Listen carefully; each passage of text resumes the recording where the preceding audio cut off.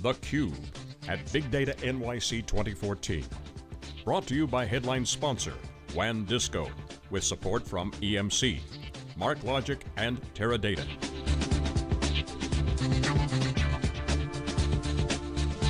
With hosts Dave Vellante and Jeff Kelly.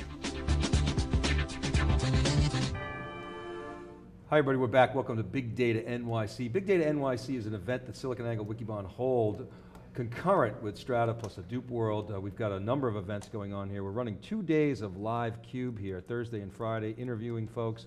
And then today at four o'clock, uh, Jeff Kelly and I, and we got a great panel. We're going to give a capital markets presentation. We invited in a bunch of our Wall Street friends and some of our clients and other friends of, of the Cube, and we're going to really unpack what's going on in this, in this business. And then we're going to spill out at uh, uh, uh, 6 o'clock to the Cube party, celebrating five years of the Cube at Hadoop World. And one of our very first guests and most interesting guests at Hadoop World was Abhi Mehta. Abhi's here, he's the CEO of Tresata, a software company solving problems in the financial services business. Abhi, always a pleasure, great to see you. Well, congratulations on five years. You know, what a brilliant five years it's been, and uh, it's good to be back. Always good to be back. Thank you very much. I mean, that was an unbelievable show. We were talking, you, you made some great predictions. You sort of educated us on the, the data factory. You had some great uh, sound bites. Sampling is dead. Hadoop is going to be big. Big data is going to be bigger than Linux, right? And it looks like those things are, are really coming true. Um, at the time, a lot of people didn't even know what Hadoop was. Uh, and now you know, everybody's doing uh, Hadoop. Um, you had a chance probably to be, you were at the, uh, That's the. Strata That's and, right, uh, yeah. Hadoop World earlier. What's That's the right. vibe like over there? The vibe is great. You know, I was, uh, I was telling some of my friends that in the five years of when Strata wasn't called Hadoop World or Hadoop World wasn't called Strata, you know, whichever you look at it, um, the conversations have changed dramatically. We met three potential customers today, and uh, they, they all want to go ahead and do deals. You know, I think the, it is an interesting time in big data where I think there's a realization that we're in the middle of witnessing something that's going to be very dramatic, very Darwinian, and people don't know yet what it means for them, especially the big guys. They have no clue what's going to hit. It's going to hit them hard. They're going to fall even harder. But they, and luckily, in five years from now, they all realize it. So the average age of Strata from five, or Hadoop World from five years ago, which was 30 years old, today it's like 50 years old, you know? So you're seeing the enterprise machines gear up to say, how hard will I be hit? What is going to be the impact? And what should I do with it? And you're seeing the customers finally embracing and saying, I buy it. This is a huge wave. The early adopters who were crazy enough to go surf it have proven it works, that I won't fall flat on my face. Let me dive in.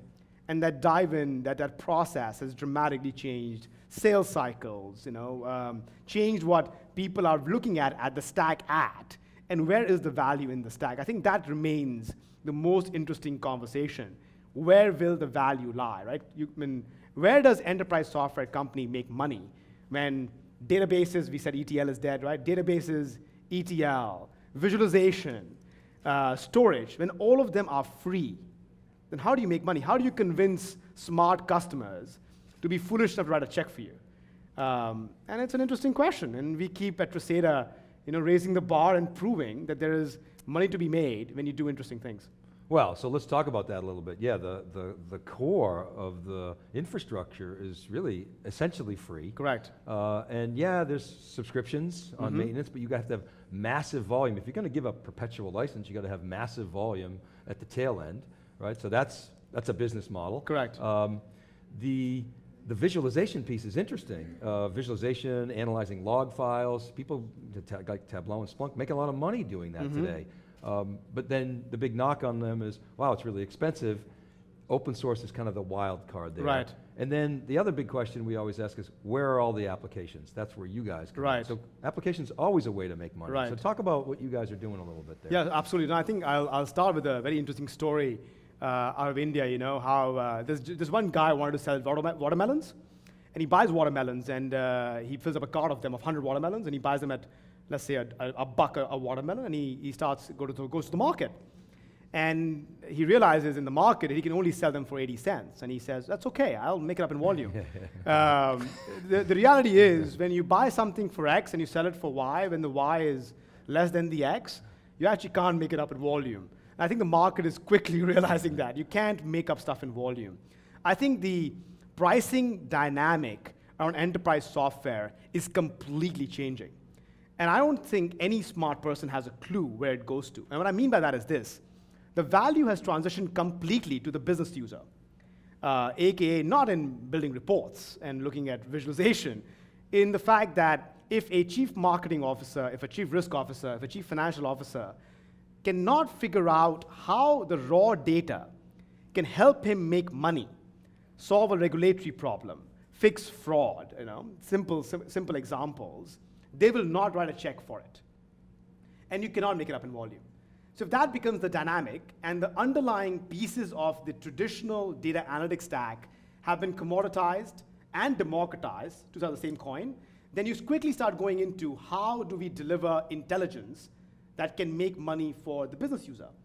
And that's where everybody's headed to, because the volume play in software is over. Um, the, the, play is now all around price. So then the P times V, every business P times V.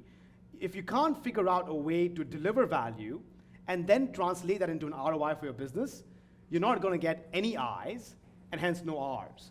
And I think that's where we believe we have proven the vision we shared with you, right? It was a very interesting vision. We came to you five years ago, four years ago, three years, we launched Tresata on the Cube, I remember the day, and we said, fundamentally, the ability to find, mine, and monetize customer intelligence will be done in a way that has never been done before. At scale, sampling is dead, you know, the tools are free, and whoever can prove you can do that in the Hadoop stack is worth a lot of money, will make a lot of money. I'm happy to say in the five years of knowing you, Tresata was cash flow positive last year. We are profitable this year. Know, we'll actually pay the government some taxes, you know, do our, give our dues. And that vision we shared with you, and we have a new term for it, we're calling the next generation of enterprise software customer intelligence management. That every single piece of customer intelligence management is done in Hadoop.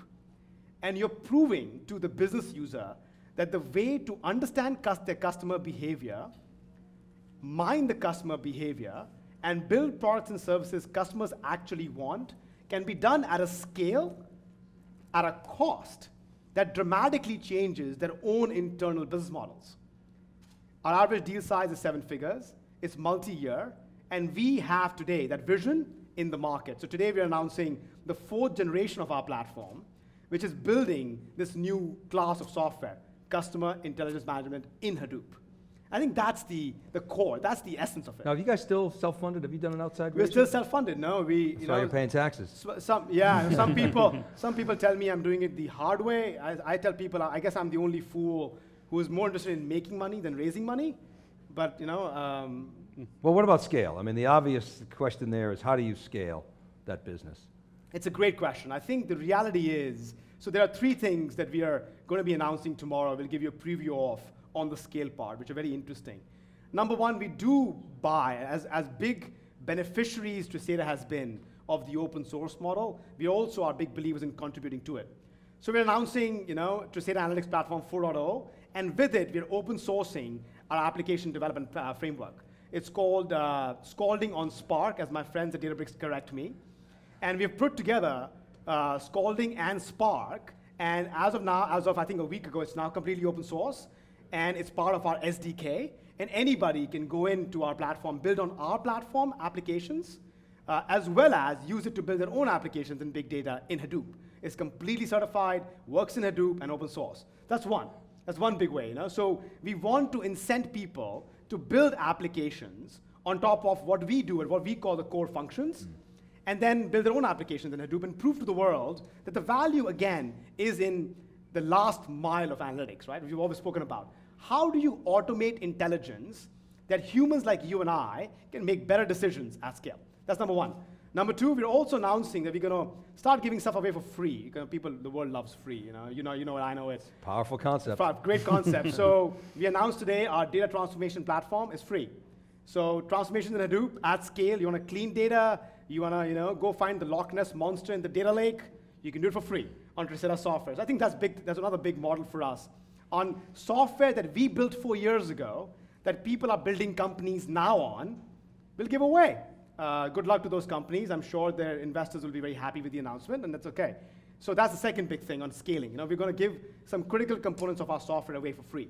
So people can figure out the lake. What we hear from customers is, it's great, I'm building a data lake. What do I do with it, right? Lake is great, but without a boat to float on it, without going from A to B, without making any, you know, without, without some uh, concessions around the sand, you A can't make of people money on lakes. A lot of people building data swamps. you know, Yeah, uh, exactly. Turn them into data That's, that's exactly right. So with, op- with giving away our data transformation for free, we're allowing people to figure out what is in the lake. And if it is a Loch Ness monster, you should run, you know? These guys say, you're telling us out of time? You can't, we, we can't be out of You're time. out of time? No way. No. Yeah. So let me, Already? ju- let me jump Jeff's in. gotta get a- I at gotta least get a- one I question gotta- in here. Come on. Sometimes Dave lets me ask a question, but uh, uh, let me jump in with, one- with a question. So Sure. it's great talking about the technology and bringing, bringing applications to the enterprise. But uh, we were talking earlier in an earlier segment uh, with Sri from 0xdata about the culture, cultural changes that need to happen in the enterprise to take advantage of this. Because a lot of times what you're talking about is insights that are going to cut against the grain. You're going to find as a bank that your most profitable customer isn't your most profitable customer because now I have access to all the data. I'm running applications Correct. on customer intelligence and finding out, oh, I've got to, I've been looking at this the wrong way. That requires you to make some changes in your business processes, in the way you market, et cetera. A lot of change has to happen. Correct. And a lot of people have a lot invested in the way things have, have gone so far. Um, what about that cultural component? How does that change happen to, co- to, to, to allow enterprises to really take advantage of all of the innovation that companies like Tresata are doing? That's a great question. I think there are, there are two parts to the answer. One, we have to fundamentally understand how technology has evolved over the last 50 years. And the key part of technology, or any industrial, any industrialization that moves society forward, is automation. And in order to enable the changing of business models without automating the last vestige, which remains very manual in every single enterprise, which is front office applications, everything you mentioned, sales. Sales remains a manual task, right? That's why we call the term customer intelligence management. CRM is dumb. CRM is helping you make meetings and, and reminding you when to meet. When you meet a customer and you can't tell the customer anything intelligent about the customer, it's like, a, it's, your, it's like your wealth manager coming to you and saying, Dave, what do you think about the stock market? And you go, if that's what I got to do, what am I paying you for, right? So if CRM, and it was great, the last wave of technology automated dumb processes. This next wave of technology is automating intelligent processes that today humans could only do. So in our customer intelligence management suite, we have four key solutions built in. Identity intelligence, marketing intelligence, risk intelligence, and fraud intelligence. We have a large bank who bought our identity intelligence project, pro- uh, product for the corporate bank. They took away 400 resources that were doing the front office job manually by automating the task and repurposing them to be exactly what you were saying.